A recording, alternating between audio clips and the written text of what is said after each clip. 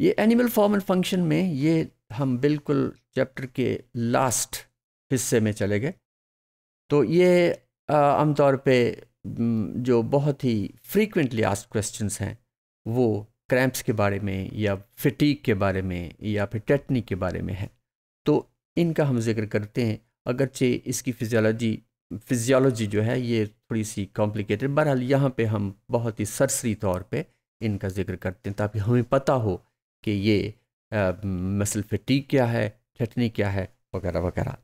तो muscle fatigue तो muscle fatigue it is a state of physiological inability कि जब एटीपी की सप्लाई किसी वजह से कम हो जाती है एंड और इसमें अवेलेबल नहीं होती तो ऐसे में ऐसे में मसल मतलब कि वो कंटिन्यूस कंट्रैक्शन नहीं होती। There is there is a state of rather there is a state of continuous contraction relaxation नहीं होती।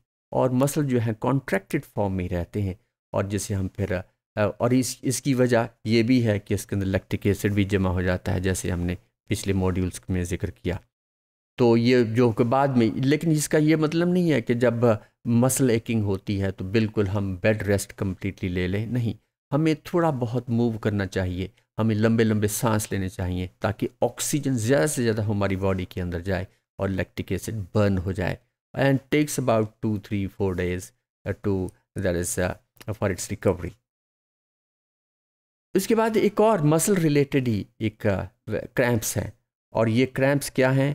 कि muscle cramp is a sudden and involuntary contraction of one or more muscles ये बाज़ात सोते में ही इतनी स्वीयर दर्द होती है, इतनी मसल क्रैम्प्स जैसे वो दैट इतनी स्वीयर दर्द होती है कि इंसान उठ पड़ता है, बल्कि उठना भी बड़ा महाल हो जाता है। इसलिए इस तरीके से वो मसल कॉन्ट्रैक्ट करते हैं आमतौर पे पिंडलियों के अंदर। और तो तो this is due to the over use of muscles इसकी वजह क्या है? ओवर यूज़ ऑफ़ मसल्स या फिर डिहाइड्रेशन हो सकती है इनएडिकुएट ब्लड सप्लाई भी हो सकती है नर्व कंप्रेशन हो सकती है और जिसकी वजह से ये क्रैम्प्स के चांसेस बढ़ जाते हैं। इसके अलावा ये दिस इज़ क्रैम्प के ख़ास तौर पे इन गैस्ट्रोनीमस मसल के अंदर या पिंडली के मसल्स जो होते हैं, इनके अंदर बहुत ही शदीद दर्द होती है। तो ये इसकी वजह ये भी है कि मिनरल डिप्लीशन जिसमें ख़ास तौर पे कैल्शियम पोटेशियम और मैग्नीशियम अगर डाइट के अंदर ये चीज़ें नहीं होंगी तो ये क्रैम्प्स के चांसेस बढ़ जाते हैं। तो इसके अलावा डाईयूरेटिक्स डाईयूरेटिक्स वो केमिकल कंपाउंड्स होते हैं, जिसकी वजह से, जिसे हम यूरिन यूरिन ज़्यादा पास हो। तो यूरिन जब पास होगा तो ये मिनरल्स जो हैं they get out of the body and that causes the this cramps और इसके चांसेस क्रैम्प्स के बढ़ जाएँगे। अब एक और which is called as the tetany और या हाइपोकैल्सीमिया यानी कि जब कैल्शियम की डेफिशिएंसी हो जाती है। This a condition that is due to low calcium जिसे हाइपोग्लाइसीमिया भी कहते हैं and this is characterise by the spasm of the hands and legs तो ये एक का, ये कंडीशन है, जो कि टेटनी की है, ये जो जब पाँव या हाथ मुड़ जाते हैं, और वो ऐसे सीधे करें तो सीधे नहीं होते। तो ये कंडीशन जो है, वो भी कैल्शियम की डेफिशिएंसी से ही होती है।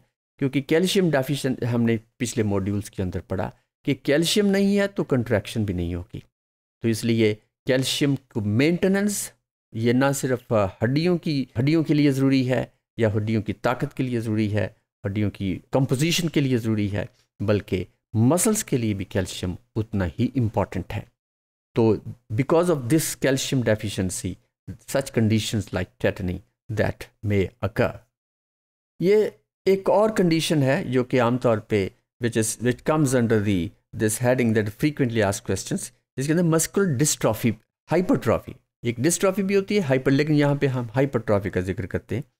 तो दिस हाइपरट्रॉफी यानी मसल्स का बड़े हो जाना, बढ़ जाना। या आपने देखा होगा कि बहुत सारे जो वेट लिफ्टर्स होते हैं या बॉडी बिल्डर्स होते हैं, उनके मसल्स अच्छे खासे बड़े हो जाते हैं। और ये बड़े होने की वजह यही है कि उनके सेल्स उनके अंदर ग्लाइकोजन उसके अंदर मटेरियल जिससे मसल बना होता है, वो इंक्रीज कर जाता है। और सार्कोप्लाज्म बी सार्कोप्लाज्मिक और मायोफिबुलर हाइपरट्रॉफी हो जाती है, जिसकी वजह से ओवरऑल मसल बहुत बढ़ जाता है। लेकिन इसके साथ ही साथ, इसके साथ ही साथ ग्लाइकोजन और ब्लड कैपिलरीज इनकी तादाद भी मसल्स के अंदर बढ़ जाती है। It is one of the reasons जैसे हमने बताया कि देर आर मैनी रीजन्स लेकिन ये इंपॉर्टेंट रीज़न है कि ब्लड सप्लाई ब्लड सप्लाई वहाँ पे ब्लड कैपिलरीज इतनी बढ़ जाती, इतनी ज़्यादा हो जाती हैं, और वहाँ पे ब्लड जिसकी वजह से वो ओवरऑल मसल अच्छा खासा बड़ा हो जाता है, जिसे हम मस्कुलर हाइपरट्रॉफी कहते हैं। तो ये चंद चंद ये कंडीशंस थी which are related with the skeletal muscles